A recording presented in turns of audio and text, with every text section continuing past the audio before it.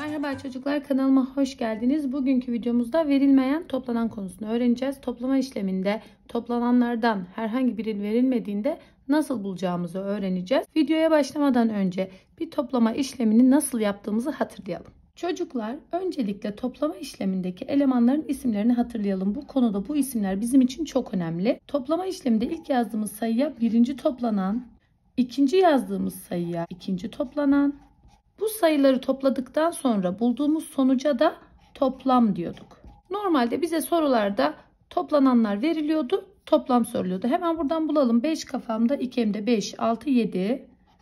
2 ile 4'ü topluyorum. 4 kafamda 2 elimde 4, 5, 6. Şimdi ben toplamı buldum 67. Normalde bize dediğim gibi toplama işleminde her zaman toplam sorulur. Ama bugün öğreneceğimiz konuda verilmeyen toplanan konusunda bize şöyle bir şey yapıyorlar. Birinci toplanan ya da ikinci toplanan bunlardan herhangi birini vermiyorlar. Bizden bulmamızı istiyorlar. Peki bunu nasıl yapacağız? Şurada bir kuralımız var. Bir kuralımızı okuyalım. Toplama işleminde toplananlardan herhangi biri verilmediğinde verilmeyen toplananı bulmak için toplamdan yani sonuçtan verilen toplananı çıkarırsak verilmeyen toplananı bizden istenen toplananı buluruz. Örneklerle daha iyi anlayacaksınız bu kuralı. Hemen örneğimize geçelim. Bu örneğimizde birinci toplananımız verilmiş.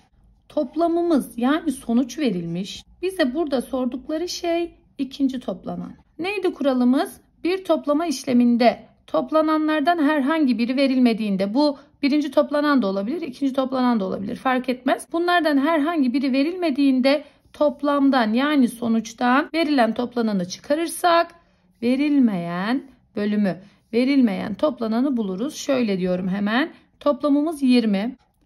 Ben 20'den verilen toplanan 12'yi çıkarırsam çocuklar nereyi bulacağım? Tabii ki de verilmeyen toplananı bulmuş olacağım. Sıfırdan 2 çıkmaz. Hemen git komşuna.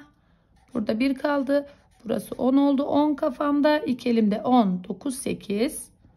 Onlar basamağına geçiyorum. Birden 1 çıkarsa da 0 kalır. Çocuklar burada bulduğumuz 8 soruda verilmeyen toplanandır. Biz burada çıkarma işlemi yaparak verilmeyen toplananı bulmuş olduk. Çocuklar bu örneği daha iyi anlamanız için şekille anlatmak istiyorum. Şimdi soruda bana ikinci toplanan verilmemişti. Kaç olduğu soruluyordu. Birinci toplananımız 12. Şöyle düşünelim. Benim 12 adet yeşil şekerim olsun. Arkadaşım da bana bir miktar mavi şeker versin ama ne kadar olduğunu bilmiyorum. Ben bunları topladığım zaman toplamı 20 bulmuşum. Tekrar ediyorum benim 12 adet yeşil şekerim vardı. Arkadaşım da bana bir miktar mavi şeker verdi ama ne kadar olduğunu bilmiyorum. Toplamda 20 şekerim oldu. Arkadaşımın bana verdiği bu mavi şekerlerin sayısını bulmak için ne yapıyorum? Toplamdan yani 20'den bütün şekerlerden kendi şekerim olan yeşil şekerleri çıkarırsam arkadaşımın verdiği mavi şekerlerin sayısını bulabilirim. 20'den 12'yi çıkarıyorum. Yeşil şekerleri çıkardım. Bakalım arkadaşım bana kaç tane mavi şeker vermiş? 1, 2, 3, 4, 5, 6, 7, 8. Bakın çocuklar arkadaşım bana verdiği şeker sayısı 8'dir. 20'den 12'yi çıkararak verilmeyen toplananı bulmuş oldum. Çocuklar bu örnekte önce şekille anlatmak istiyorum. Şöyle düşünelim. Benim 14 adet yeşil misketim vardı. Arkadaşım da bana bir miktar mavi misket verdi ama kaç tane verdiğini bilmiyorum. Mavi ve yeşil misketleri ben topladığım zaman 25 adet misketim oldu. Acaba arkadaşım bana kaç tane mavi misket verdi? Bunu nasıl bulacağım? Toplam misket sayısından yani mavi ve yeşil misketlerden kendi misketlerim olan yeşil misketleri çıkarırsam arkadaşımın verdiği mavileri bulurum.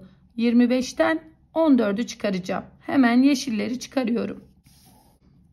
Evet yeşil misketleri çıkardım. Arkadaşımın verdiği maviler kaldı. Yani ikinci toplanan kaldı. Bakalım arkadaşım bana kaç tane misket vermiş? 1, 2, 3, 4, 5, 6, 7, 8, 9, 10, 11 misket vermiş. O zaman benim ikinci toplananım 11'dir. Bakalım bir de işlemle yapalım doğru mu yaptık?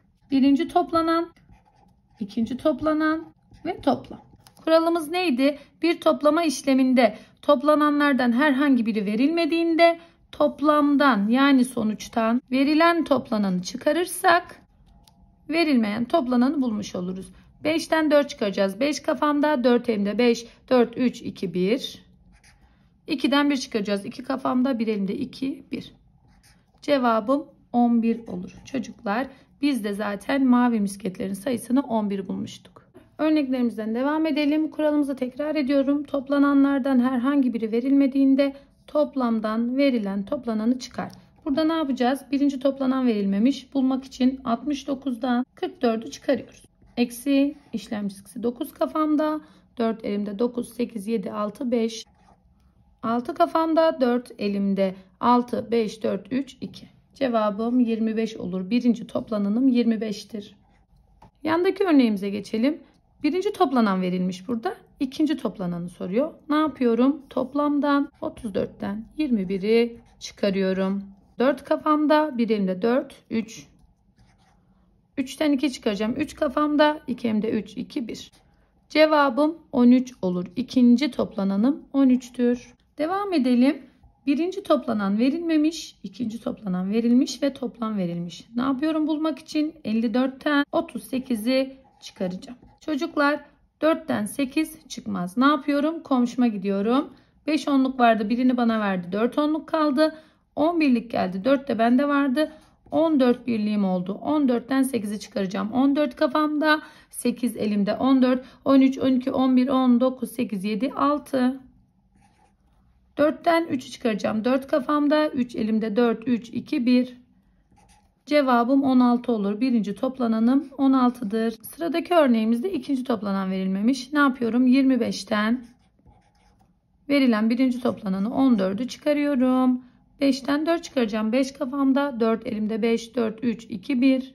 2'den 1 çıkaracağım. 2 kafamda 1 elimde 2 1.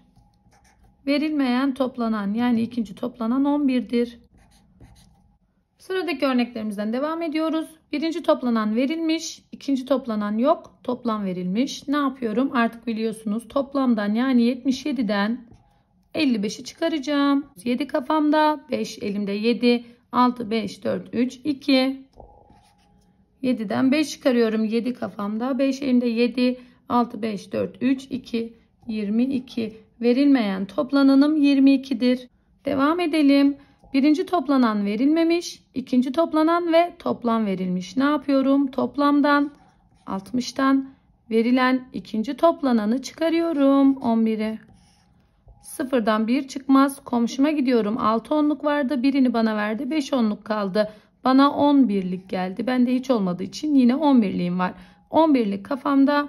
Bir elimde 10. 9. 5 kafamda. Bir elimde 5. 4. Cevabım yani birinci toplanan 49'dur. Birinci toplanan 38, ikinci toplanan verilmemiş, toplam 64. Ne yapıyorduk? Toplamdan yani 64'ten verilen toplananı 38'i çıkarıyorum. Eksi işlem çizgisi. 4'ten 8 çıkmaz. Komşuna git. 5 kaldı. 14 oldu. 14'ten 8 çıkaracağız. 14 kafamda. 8 elimde 14. 13, 12, 11, 10, 9, 8, 7, 6. 5 kafamda. 3 elimde 5, 4, 3, 2. Cevabım yani verilmeyen toplanan 26'dır. Bu sayfadaki son örneğim. Birinci toplanan verilmemiş. ikinci toplanan ve toplam. Ne yapıyorum? Toplamdan verilen toplananı çıkaracağım. Eksi işlem çizgisi. Birden 3 çıkmaz. Komşuma gidiyorum. 11'den 3 çıkarıyorum. 11, 10, 9, 8. 6'dan 2 çıkarıyorum. 6 kafamda. 2 elimde 6, 5, 4. Cevabım 48 olur. Verilmeyen toplanan yani birinci toplanan 48'dir. Verilmeyen toplananı bulacağımız zaman iki adet farklı yöntemimiz daha var. Bunları da sizinle paylaşmak istiyorum. Bu söyleyeceğim yöntemleri özellikle küçük sayılar verildiğinde yapabilirsiniz. Yöntemimizin adı üzerine sayma. Peki üzerine sayma yöntemi nasıl oluyor? Çocuklar 9 ile bir sayı toplanmış. Toplamımız 15 olmuş.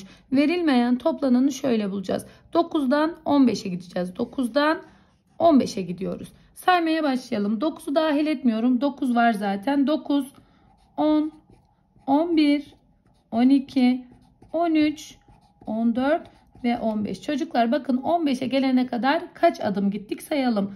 1, 2, 3, 4, 5, 6. O zaman 9 ile 6'yı toplamışlar. 15 olmuş. İsterseniz parmaklarımızla da sayalım. 9'dan 15'e gidelim. 9, 10, 11, 12, 13, 14, 15. Bakın 6 tane parmağım açıldı. O zaman şöyle diyorum.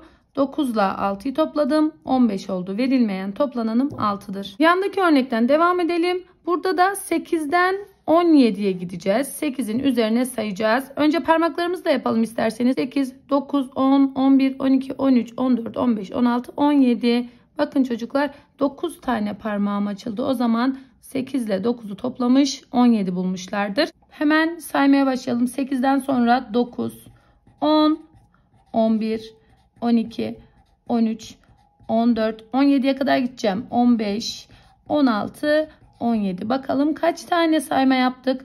1, 2, 3, 4, 5, 6, 7, 8, 9. O zaman verilmeyen toplananımız 9'dur. Çocuklar bu iki örnekte ileriye doğru sayma yaptık. Aynı şekilde verilmeyen toplananı bulmak için geriye doğru ritmik sayma da yapabilirsin. Yani 16'dan 7'ye doğru da geri geri sayarsan verilmeyen toplananı bulursun. Şimdi 16'dan 7'ye gidelim. 16, 15, 14, 13, 12, 11, 10, 9, 8, 7. Bakın 9 parmağım açıldı. İsterseniz geriye doğru bir yazalım da 16'ya almıyorum çocuklar. 16'dan geriye geliyorum. 16, 15, 14, 13, 12, 11, 10, 9, 8, 7. Bakalım kaç sayma yaptık? 1, 2, 3, 4, 5, 6, 7, 8, 9. O zaman verilmeyen toplananımız 9'dur. 7 ile 9'u toplamışız 16 olmuş. Sıradaki örneğimizden devam edelim. 12'den geriye doğru gelip 5'i bulacağız. 12'yi almıyorum. 11, 10, 9, 8, 7, 6 ve 5. Bakalım kaç adım geri geldik? 1, 2, 3, 4, 5, 6, 7. O zaman 5 ile 7'yi toplamışız 12 olmuş. Bir parmaklarımızla da bakalım doğru mu? 12'den geri geri 5'e geliyoruz. 12, 11, 10, 9, 8, 7, 6, 5. Bakın çocuklar 7 parmağım açıldı. O zaman verilmeyen toplananımız 7'dir. İstersen ileriye doğru say, istersen geriye doğru say. İkisinde de doğru cevabı bulursun.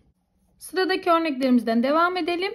6'dan 11'e doğru ileri sayalım. 6, 7, 8, 9, 10, 11. 5 parmağım açıldı. O zaman 6 ile 5'i toplamışımdır. İsterseniz saymalarımızı da yazalım. 6'dan 11'e gidiyoruz. 6, 7, 8, 9, 10, 11. Kaç adımda gittik? 1, 2, 3, 4, 5.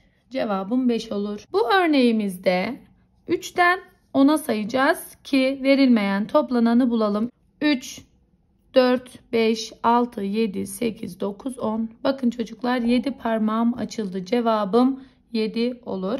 3'ten 10'a saymalarımızı da yapalım. 3, 4, 5, 6, 7, 8, 9, 10. Bakalım kaç sayma yapmışız? 1, 2, 3, 4, 5, 6, 7. Verilmeyen toplananım 7 olur. Bu örneğimizde de 12'den 8'e geriye doğru sayma yapalım. 12, 11, 10, 9, 8.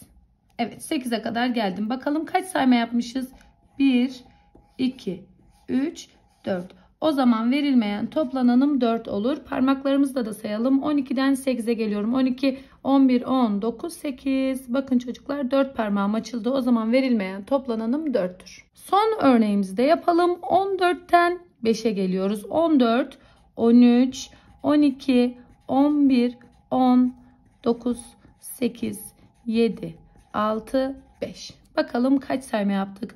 1, 2, 3, 4, 5, 6, 7, 8, 9. Demek ki çocuklar verilmeyen toplananımız 9'muş. Parmaklarımızla da sayalım. 14'ten 5'e gelelim. 14, 13, 12, 11, 10, 9, 8, 7, 6, 5. Bakın 9 tane parmağım açıldı. Verilmeyen toplananımız 9'dur. Çocuklar videomuz burada bitti. Videomu izlediğiniz için teşekkür ediyorum. Kanalıma abone olmayı ve sevdiklerinizle paylaşmayı unutmayın lütfen.